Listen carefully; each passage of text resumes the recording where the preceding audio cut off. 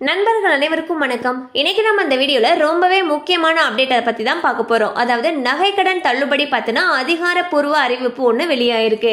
யார் யாருக்கெல்லாம் நகைக்கடன் தள்ளுபடி செய்யப்படும் அப்படிங்கிற அறிவிப்பு வெளியாயிருக்கு. ஸோ அதை பத்தி தான் இந்த வீடியோல நம்ம பார்க்க போறோம். வீடியோக்குள்ள போறதுக்கு முன்னாடி இது வரைக்கும் நீங்க நம்ம சேனலை சப்ஸ்கிரைப் பண்ணலைன்னா சப்ஸ்கிரைப் பண்ணிருங்க. மறக்காம பக்கத்துல இருக்கக்கூடிய பெல் பட்டனையும் கிளிக் பண்ணிருங்க. அப்பதான் எங்க கிட்ட இருந்து வரக்கூடிய அனைத்து பயனுள்ள தகவல்களும் உங்களுக்கு கரெக்ட் டைம்க்கு ரீச் ஆகும். இப்போ வாங்க வீடியோக்குள்ள போலாம். ஸோ தமிழக முதலமைச்சராக திரு மு க ஸ்டாலின் அவர்கள் பொறுப்பேற்றதுலேருந்தே வந்து பார்த்தீங்கன்னா மக்களுக்கு நன்மை தரக்கூடிய பல விஷயங்களை செஞ்சுட்டு வராரு. மக்களால் பெரிதும் எதிர்பார்க்கப்பட்ட ஒன்று அப்படின்னு சொல்லி பார்த்தோம்னா அது நகைக்கடன் தள்ளுபடி குறித்த அறிவிப்பு தான். இந்த அறிவிப்பு நகைக்கடன் எப்போது தள்ளுபடியாகும் அப்படிங்கிற எதிர்பார்ப்பு எல்லா மக்கள்கிடையும் நிலவிக்கிட்டு வந்துட்டு இருக்கு இந்நிலையில் நகைக்கடன் தள்ளுபடி குறித்து கூட்டுறவுத்துறை அதிகாரி ஒருவர் கருத்து தெரிவிச்சிருக்காரு. அதை பத்தி தான் இந்த வீடியோ நம்ம பார்க்க போறோம்.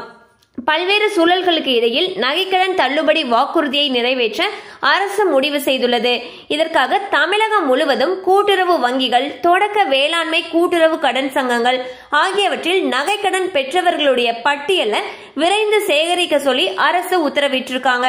இப்பணிகள் கடந்த நான்காம் தேதி முதல் தமிழகம் முழுவதும் தீவிரமாக மேற்கொள்ளப்பட்டு வருகிறது. ஐந்து சவரன் வரை நகைக்கடன் பெற்றவர்கள் தள்ளுபடி பெறுவர் அப்படின்னு சொல்லி சொல்லியிருக்காங்க.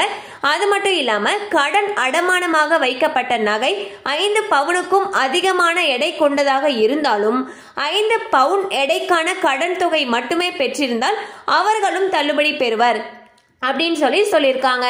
அண்ட் ஐந்து பவுனுக்கும் அதிகமான நகையின் பேரில் பெற்ற கடன் தள்ளுபடி தொடர்பான முடிவை அரசே எடுக்கும் அப்படின்னு சொல்லியும் சொல்லியிருக்காங்க.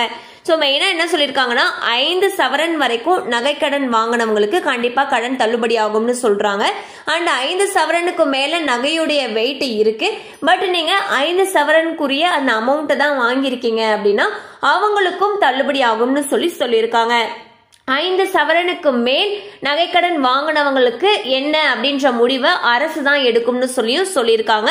அது மட்டும் இல்லாமல் ரொம்பவே ஒரு முக்கியமான அப்டேட் அப்படின்னு சொல்லி பார்த்தோம்னா நகைக்கடன் பெற்றவங்களோ அல்லது அவங்களுடைய வாழ்க்கை துணை அல்லது தாய் அல்லது தந்தை அல்லது மகன் அல்லது மருமகள்.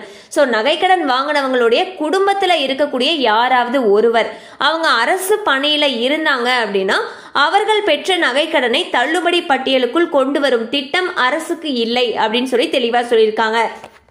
ஸோ யாராவது நகைக்கடன் வாங்கியிருக்கீங்க அண்ட் அஞ்சு சவரனுக்கு கீழே தான் வாங்கியிருக்கீங்க அப்படின்ற பட்சத்தில் அவங்க குடும்பத்தில் யாராவது ஒருத்தர் அரசு வேலையில் இருந்தாங்க அப்படின்னா அவங்களுக்கு நகைக்கடன் தள்ளுபடி கிடையாதுன்னு சொல்லி சொல்லியிருக்காங்க. அது மட்டும் இல்லாம தள்ளுபடி என்பதை இலக்காக வைத்து முறைகேடாக யாரேனும் நகைக்கடன் பெற்றிருந்தாலும் அவர்களும் தள்ளுபடி பட்டியலில் சேர்க்கப்பட மாட்டார்கள் அப்படின்னு சொல்லி சொல்லியிருக்காங்க.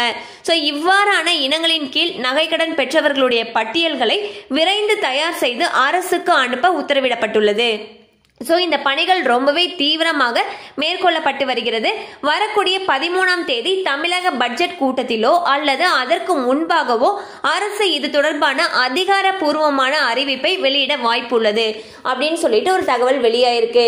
ஸோ இதன்படி வந்து பார்க்குறப்போ ஐந்து சவரனுக்கு கீழே வச்சவங்க அதாவது ஐந்து சவரன் வரைக்கும் நகைக்கடன் வாங்கினவங்களுக்கு கண்டிப்பாக தள்ளுபடி ஆகும் அப்படிங்கிற மாதிரியான தகவல்கள் வெளியாயிருக்கு.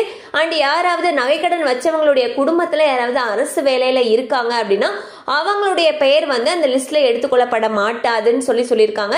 அண்ட் நகைக்கடன் தள்ளுபடிக்காகவே போயிட்டு நகைக்கடனை வந்து வச்சவங்களுக்கு இந்த மாதிரி முறைகேடு செஞ்சு நகைக்கடன் வாங்கினவங்களுக்கும் இது தள்ளுபடி ஆகாதுன்ற மாதிரி சொல்லியிருக்காங்க. ஸோ இந்த மாதிரியான பட்டியலின் கீழ் வரக்கூடியவங்க லிஸ்ட் எல்லாம் தயார் பண்ணிட்டு இருக்காங்க. விரைந்து இதற்கான அறிவிப்பு அதிகாரப்பூர்வமாக அரசால் வெளியிடப்படும் அப்படிங்கிற மாதிரியான தகவல்களும் வெளியாயிருக்கு. கண்டிப்பா இந்த வீடியோ உங்களுக்கு பயனுள்ளதா இருந்திருக்கும் நம்புறோம். மேலும் நகைக்கடன் சம்பந்தமான அப்டேட்ஸ் உங்களை உடனே ரீச் ஆகணும்னு நினைச்சீங்கன்னா நம்ம சேனலோட தொடர்ந்து இணைந்திருங்கள். தேங்க்யூ ஃபார் வாட்சிங்